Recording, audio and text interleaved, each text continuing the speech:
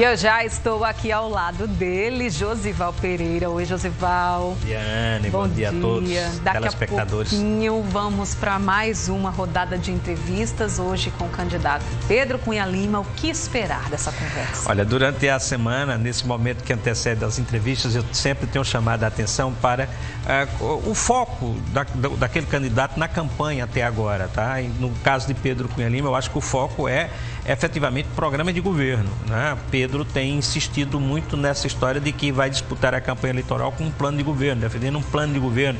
Tem um foco nesse plano de governo que é a educação e tem outro foco que é o fim dos privilégios. Então, tal, talvez nesse momento seja interessante a população ter, ter, ter olhos e ouvidos né, para essa, esse, esse, essa forma que ele está fazendo a campanha eleitoral até agora. A entrevista vai se revelar. É claro que todo programa de governo às vezes tem contradições, às vezes a proposta é maior do que aquilo que o Estado e o próprio candidato pode fazer, as pernas podem fazer, mas esse, esse é o momento. A entrevista é esse momento de confrontar e, e saber como os candidatos é, pretendem fazer aquilo que prometem.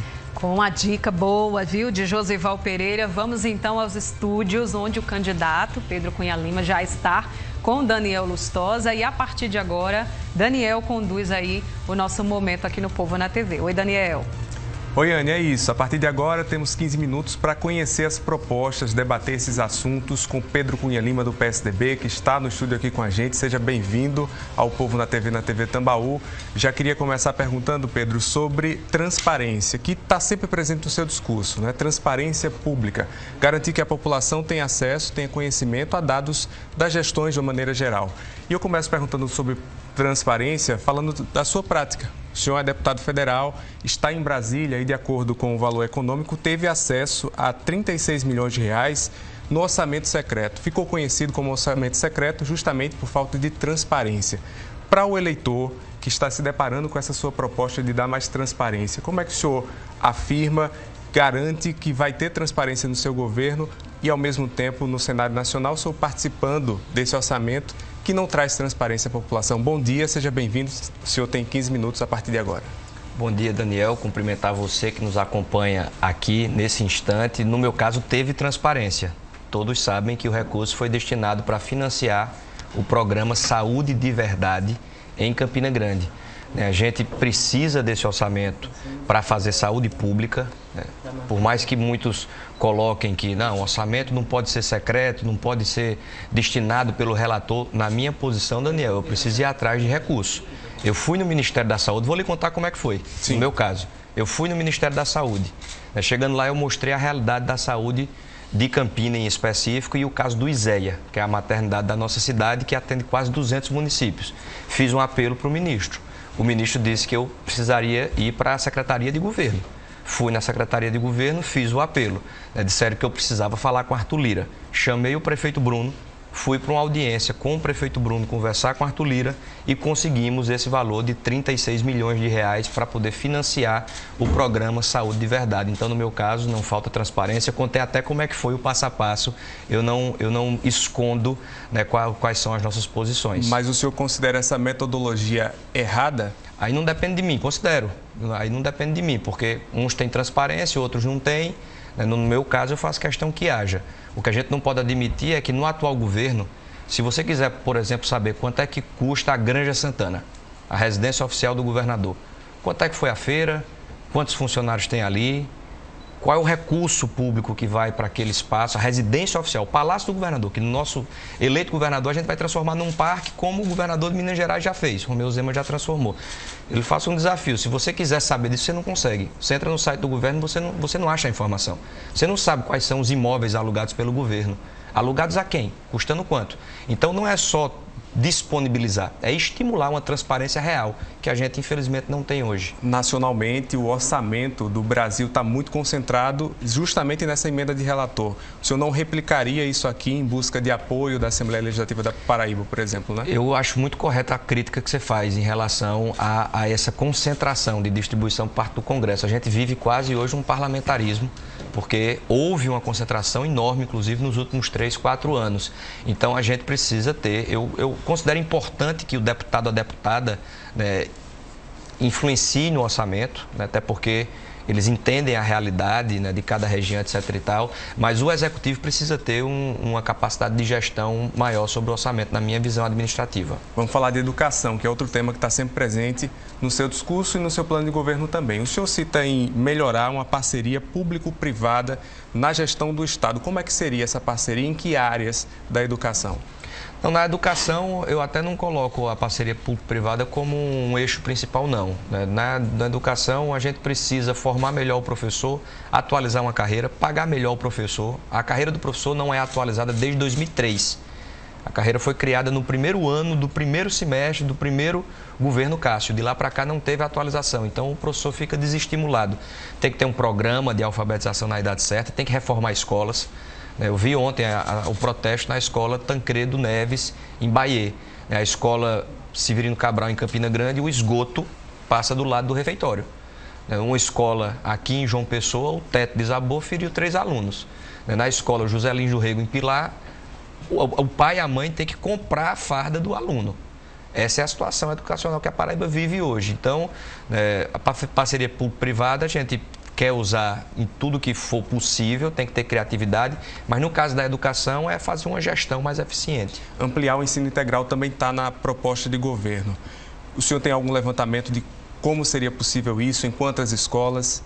A gente já tem formalmente escolas em tempo integral na Paraíba. A Paraíba cresceu o número de vagas. É inclusive um destaque a nível nacional por ter feito essa expansão. Qual é o problema da história? A expansão foi feita sem qualidade. Tem escola integral paraibana que está funcionando de maneira remota porque a estrutura não permite. Tem escola integral que não tem professor de matemática, que não tem professor de biologia.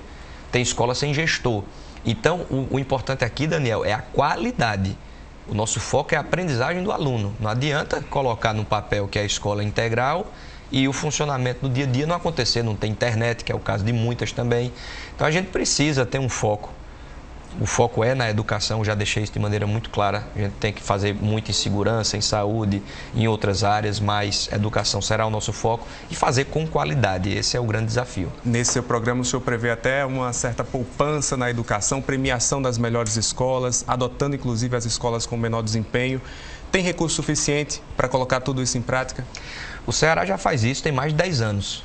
O Ceará tem uma realidade socioeconômica semelhante à nossa. Então, recursos tem. A gente tem a nova, uma oportunidade né, preciosa que é a aprovação do novo Fundeb. Eu tenho muita alegria de ter participado na condição de presidente da Comissão de Educação. Vai aumentar o recurso. Então já está anos. aumentando. A Paraíba, neste ano, já recebeu 544 milhões a mais por conta dessa luta nossa. Né? De tudo que eu pude fazer na Câmara dos Deputados até hoje, esse foi sem dúvida o momento mais importante da nossa atuação. Então, recurso tem, o que precisa ter capacidade de gestão, foco e prioridade. O Ceará já faz isso, de bonificar as escolas que entregam resultado, para que elas ajudem as que estão precisando de um reforço. Já faz isso há muito tempo, basta fazer uma gestão melhor. Falar de saúde é uma preocupação de todo mundo, principalmente nesse momento em que ainda estamos na pandemia, mas houve uma mudança recente no ato, na atual gestão. Né? Existiam OS, organizações sociais contratadas, elas foram dispensadas pelo atual governador e criou a Fundação PB Saúde. Eu queria saber o modelo de gestão adequado para a saúde até porque, candidato, nós temos muitos profissionais da saúde que são contratados por excepcional interesse público, que não é o método mais adequado para a entrada no serviço público. Como é que o senhor construiria uma solução para isso? É, primeiro, é, antes de pensar no melhor modelo, tem que ter um pré-requisito básico que é integridade, honestidade. O atual governo que mudou o modelo se elegeu com dinheiro desviado da saúde pública. Todo paraibano sabe disso, está gravado, tem a voz do esquema funcionando, tem delação, tem tudo. Então, uma coisa que o atual governo não pode dizer que tem é integridade para fazer gestão em saúde pública. A gente quer fazer o contrário, a gente vai criar a delegacia da saúde. Vai ter um delegado, toda uma equipe de auditores, de pessoas para fiscalizar cada contrato público na saúde, para que a gente, antes de qualquer coisa, não deixe roubar. Porque o dinheiro existe investir o que é obrigatório em saúde. E o atual governo também. Né? As contas foram reprovadas pelo tribunal porque não investiu o percentual mínimo. Botar para funcionar o que já existe, Daniel, isso é fundamental. O hospital de Guarabira falta lençol. São pessoas fazendo vaquinha para comprar remédio, para comprar soro, porque no hospital falta. Ajudar a rede municipal, que cumpre uma função regional também. Por fim, fortalecer os hospitais filantrópicos. Eu tive ontem no Hospital São Vicente de Paulo. O hospital atende 280 mil, faz 280 mil atendimentos ao ano. A ajuda que o governo do estado deu para o hospital foi de 1 milhão e 200 mil reais no ano. Esse foi o valor da feira da Granja Santana. Então, existe uma distorção no orçamento muito grande. A gente quer fazer essa correção. É por isso que eu insisto nesses temas, para que a gente possa fazer com que a Paraíba funcione melhor. O senhor citou aí reprovação de contas do governador João Azevedo. O apontamento do Tribunal de Contas passa pela questão dos codificados, que também passa por uma gestão do PSTB na época do seu pai, Cássio Cunha Lima. É um problema que o senhor pretende também buscar resolver, não repetir aquele mesmo modelo que o PSDB já participou aqui na Paraíba? Daniel, eu estou com 34 anos, né? eu estou muito focado no presente, no que a gente tem que construir para o amanhã. Né? Eu não vou aceitar que levem o debate para o passado, a gente tem que olhar para frente. As contas do governo Castro foram aprovadas, né? tenho muito orgulho de um trabalho que foi feito. Ando por esse estado inteiro, muita gente reconhece um trabalho bem feito é, e a gente vai buscar fazer o que tiver ao nosso alcance no momento que a gente vive. Quero ser julgado pela minha postura. O candidato sou eu.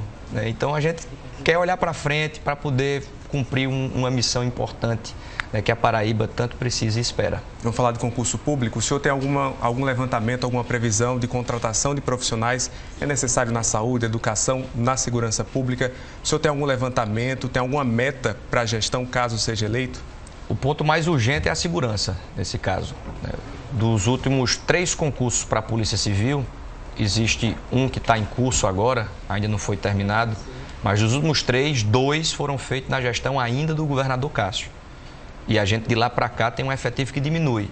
Paraíba vive uma situação única, peculiar, que é o nosso efetivo policial está diminuindo com o passar dos anos. A população vai aumentando, o efetivo vai diminuindo. No mundo inteiro, em todos os governos, a população vai aumentando, o efetivo policial vai aumentando também.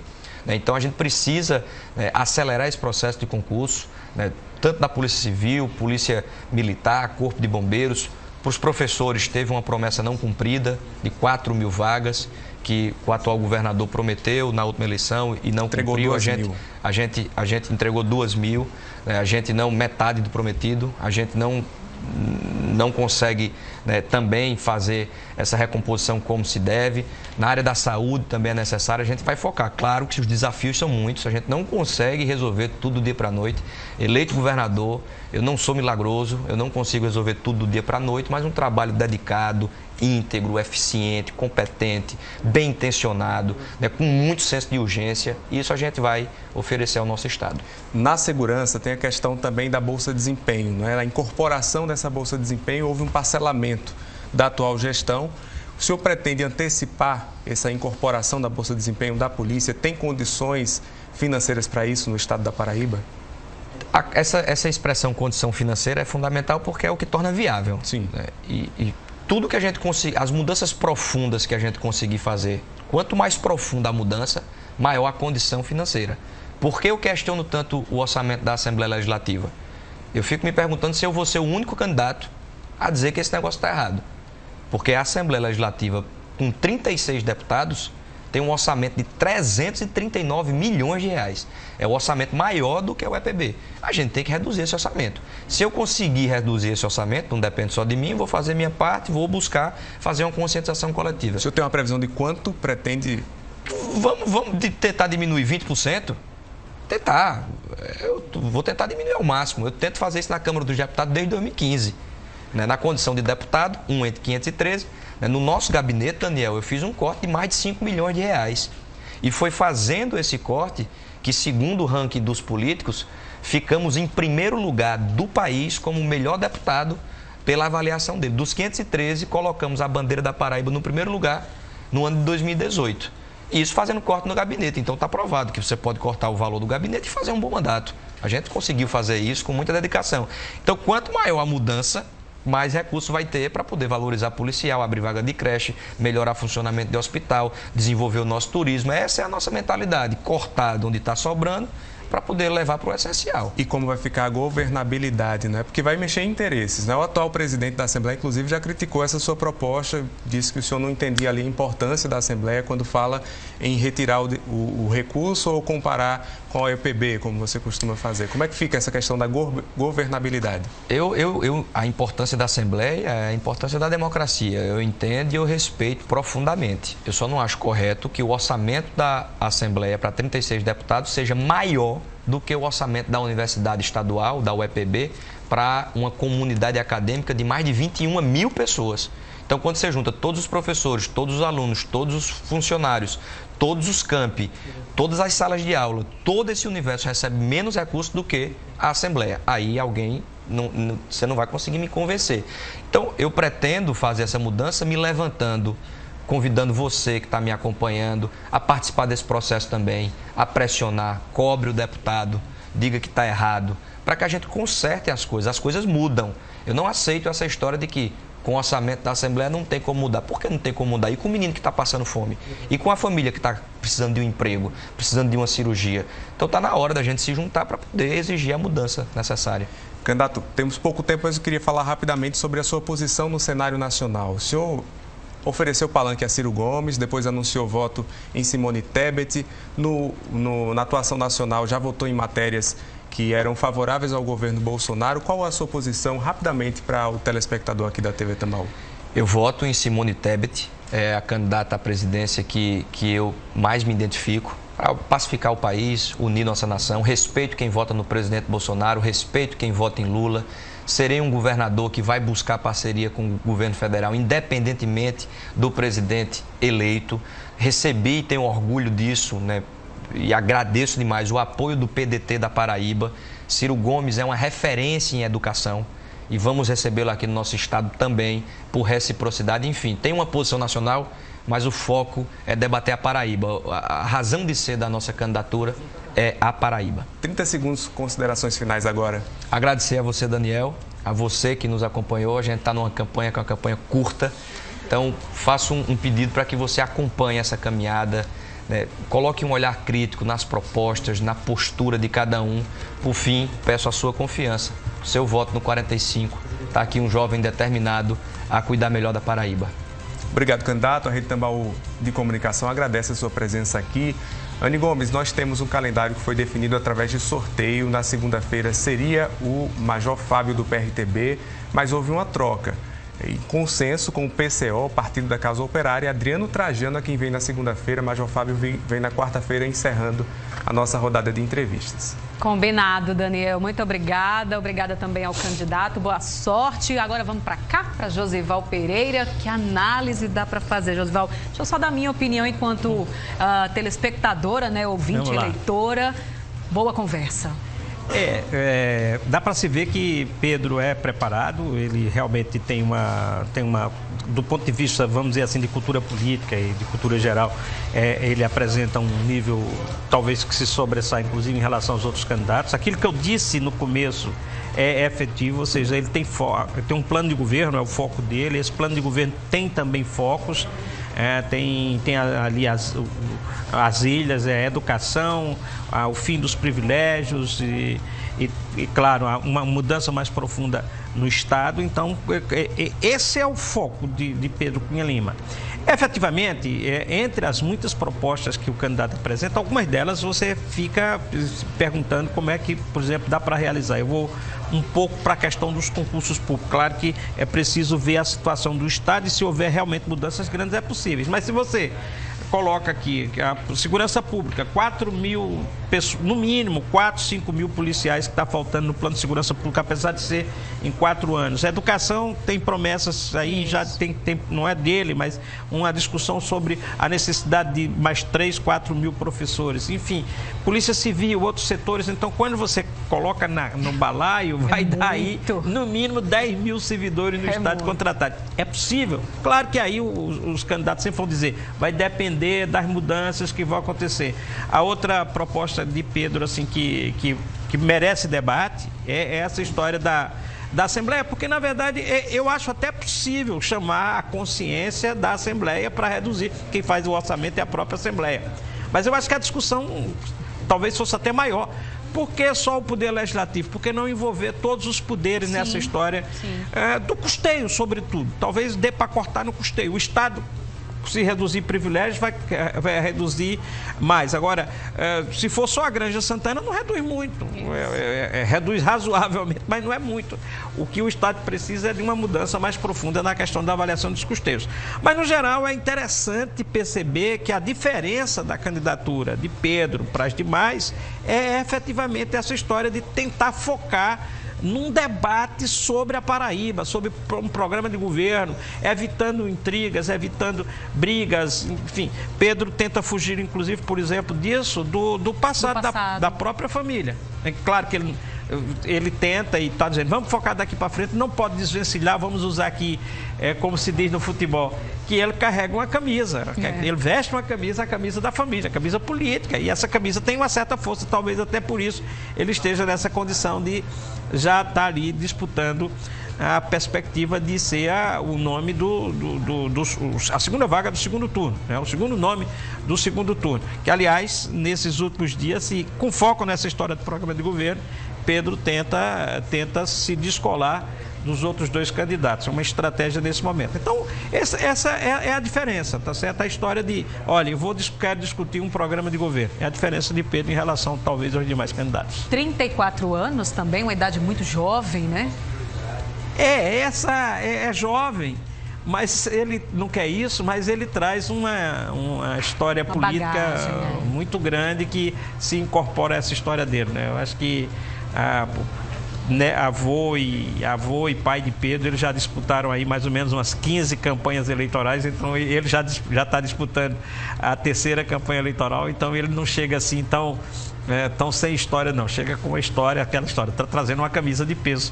Está vestindo uma camisa de peso. Pereira, é, contextualizando aqui esse momento das eleições 2022 do Nosso Povo na TV. Quero lhe agradecer pela parceria hoje, Muito ao bem. longo da semana, durante todo o programa. É. Segunda-feira você está de volta. Tô, estarei aqui sempre. Então, estarei hoje à noite. Hoje, à noite, hoje isso. Noite. Vamos reforçar esse convite para você aí de casa, tá? Hoje à noite, a partir das 7h20, com Karine Tenório no Tambaú da Gente Noite, tem um comentário político E na dele. próxima semana deve ter uma novidade de, de minha participação no jornalismo da TV é, então, Menino, hoje é o dia das novidades. Da rede, Tambaú de comunicação.